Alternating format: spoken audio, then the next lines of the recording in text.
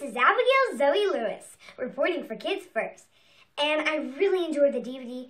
The Cat in the Hat knows a lot about space. The animation was colorful, the storyline was engaging, and the characters were fun to watch. I also liked how the cat rhymed and sang. I also liked learning about space in the solar system. My favorite character is Rover the dog, who explores different planets and takes pictures of them. His tail squirts out fire when he flies, which I think is hysterical. The story is about the adventures of Cat in the Hat with Nick and Sally, and of course Fish, as they follow a robot dog into space.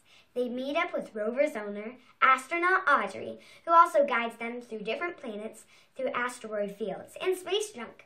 We learn that when Rover is on different planets, he brings back rock samples to the space station so astronaut Audrey can study them.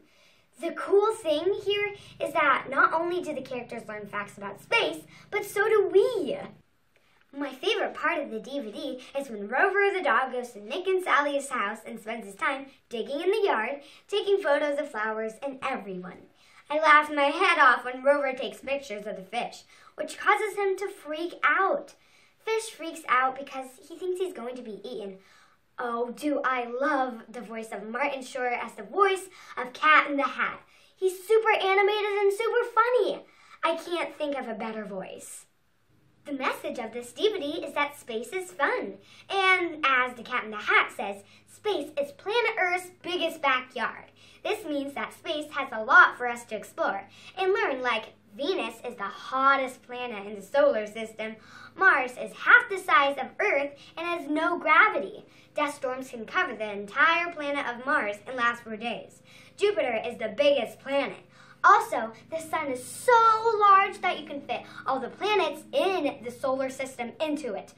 Whoa, really? My head is spinning with all these exciting new information.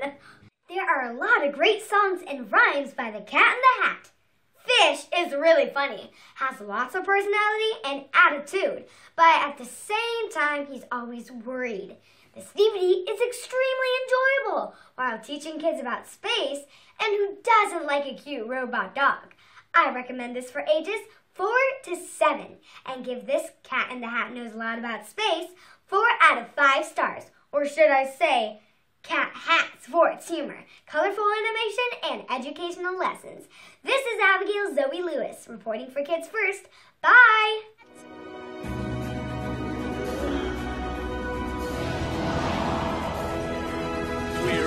Way home, our space mission is done.